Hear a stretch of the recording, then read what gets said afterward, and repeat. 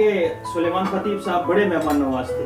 Peter bets में होने वाली दावतों का शहर गुलबर्गा में बहुत चर्चा रहा करता था। इन दावतों की खास बात क्या थी, आप इस हवाले से हमें कुछ बताएँगी?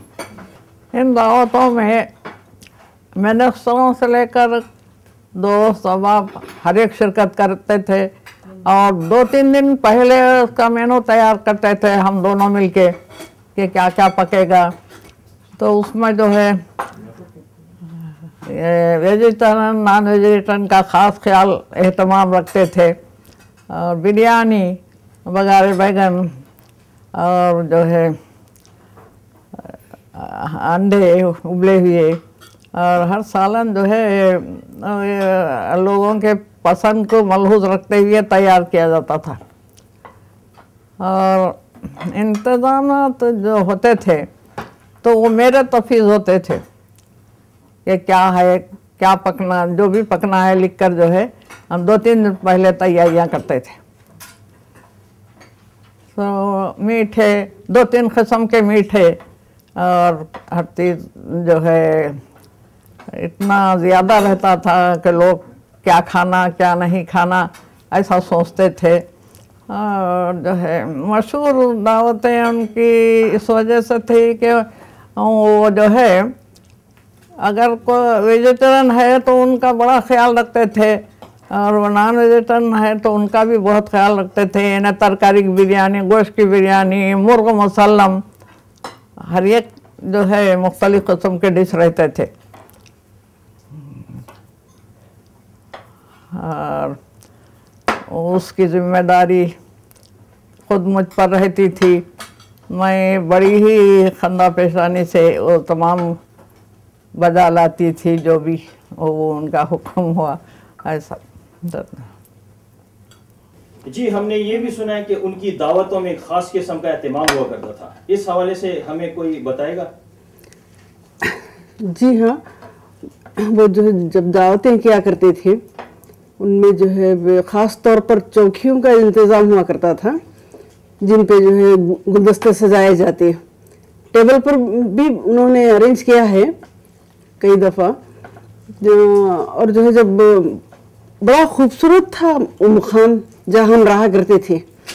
बहुत सारे झाड़ थे जिन पे जो है रोशनी किया करते ख़ास तौर पर। और और जो है गुलदस, गुलदस्ते जो है रखा करते उस पर फूलों के। मोमबत्तियाँ वगैरह भी लगाया करते वो कैंडल्स लगाया करते। और इस तरह जब वो खाते सादे दस्तरखान पर भी वो खाना पसंद करते थे लेकिन मुख्तलिफ़ तरीक़े से खा, खाते थे वो अक्सर।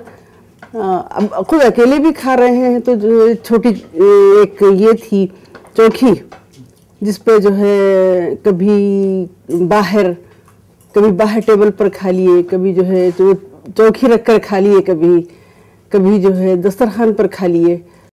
दूसरी बात मैं ये कहना चाहूँगा कि दावतें जब शुरू होती थी, वालिद साहब की आदत ये थी कि कहते थे कि भाई, दो चार दोस्तों को बुला रहा हूँ। वो दो चार लोगों वाली दावत शुरू होती थी, कहीं जाके ख़त्म होती थी, सौ, दो सौ लोगों तक। तो मेरी वालदा को ये अंदाज़ा हो जाता था कि भाई जब ये बता रहे हैं कि दो चार दोस्तों को बुलाऊँगा कम से कम सौ तो हो ही जाएँगे। तो वो उस अंदाजे को जहन में रखते हुए तैयारियाँ शुरू करती थी। ख़ास आदत थी इसलिए वसी दस्तरखान में यकीन रखते थे और वाकई दस्तरखान वसी हुआ करता था। जी उनकी मेहमान नवाजी से ये तो अंदाज़ा हो गया कि वो अकेले खाना खाना पसंद नहीं करते थे। उनको खुद खाना खाने में क्या चीज़ पसंद थी? जी मेरे वालिद साहब को खाने में यूँ तो हर चीज़ वो खाया करते थे, लेकिन जो गज़ा ख़ास तौर पर उन्हें पसंद थी अपने रोज़मर्रा के खाने में, वो जवार की रोटी और चटनी, अचार और भुना हुआ गोश्त उन्हें बड़ा मरगूब था और सब्ज़ियाँ, तरकारियाँ भी वो पसंद किया करते थे। और जैसा कि आप देख रहे हैं, यहाँ पर हमने उनकी पसंद की बहुत सारी डिशेस रखी हुई हैं। जवार की रोटी है, बाजरे की रोटी है, भुना हुआ गोश्त है, अचार का शीशा भी है और चटनी भी यहाँ पर रखी हुई है बहुत। हाँ मुझे और एक चीज़ याद आई कि अब्बा को जो बहुत पसंद थी, वो एक गुलबर्गा में महबस की मस्जिद बोल के मस्जिद हुआ करती थी। वहाँ पर एक बड़े मियाँ टिफ़िन में एक रेशमी कबाब ला के बेचा करते थे।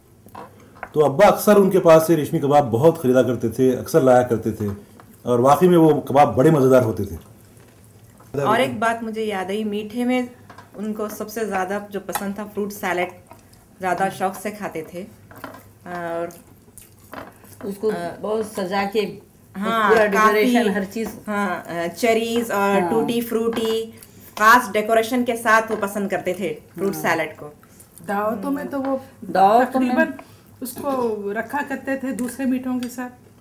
हम बच- वालिद साहब को चूँकि फ्रूट सैलेड बहुत पसंद था इसीलिए मैंने पहले सीख ली इतना जल्दी कैसा सीखे मतलब उतने ही डेकोरेशन के साथ वगैरह वो चाहे बड़ी दावतें हैं बहुत या घर में भी अगर रहे तो वैसी ब- मीठा सजा सजाया पसंद करते थे वो मजमूई तौर पर वो हाँ, शहरी खाने हैदराबाद के जो मखसूस थे वो पसंद करते थे और दही इलाके के दखनी खाने भी पसंद करते थे। मुतनौ किस्म के।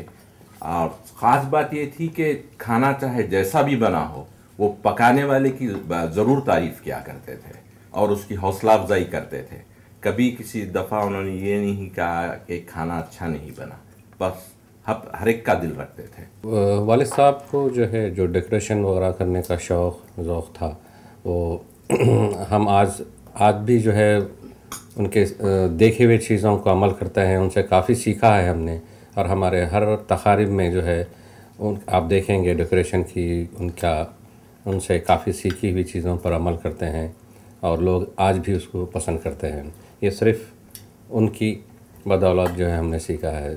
ये खानों पे डेकोरेशन वगैरह मुख्तलिफ़ किस तरह से प्रेजेंटेशन जो करते हैं, हम जो है, उनसे सीखा है।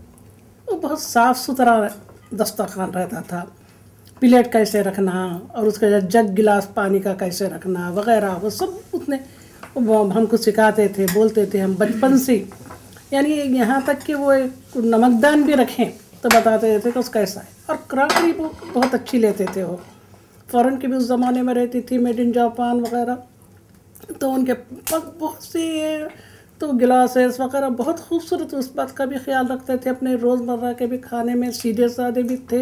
उनको वो एकदम ऐसा बहुत ज़्यादा ऐसा नहीं कि वो खा लेते थे, इतनी चीज़ें बहुत ज़्यादा पसंद करते थे। ऐसा नहीं था। बहुत ही मुख्तसर खाते थे। उनका खुराक बिल्कुल थोड़ी ही रहती थी। जी, वैसे तो वालदेन के लिए औलाद एक जैसी होती है। लेकिन सबसे ज़्यादा उनको कौन पसंद था? ये कौन बताएगा? मुझे बहुत- मुझे मुझे मुझे सबसे ज़्यादा पसंद करते थे मुझे बहुत चाहते थे। वो छोटी थी इसलिए मुझे बहुत पसंद मैं पहली मैं लड़की थी उनके मुझे बहुत चाहते थे वो। बल्कि बड़ी होने तक भी शादी होके भी चलेगी मगर मुझे बहुत चाहते थे। सब कुछ चाहते बस सबको चाहते थे। अरे सबको सबको एक ही से- सबको चाहते थे सर पे हाथ रखते थे। इसे महसूस नहीं हुआ कि कोई किसी को सबसे ज़्यादा किसको पसंद करते थे? नहीं अब्बा ये तो नहीं कह सकती जब भी वो मुशारे से वापस आते थे तो घर की पूरी रिपोर्ट लेते थे। मेरे जाने के बाद तुम लोगों को कोई तकलीफ़ तो नहीं हुई और हर एक बच्चे से फरमाइश पूछते थे उसकी।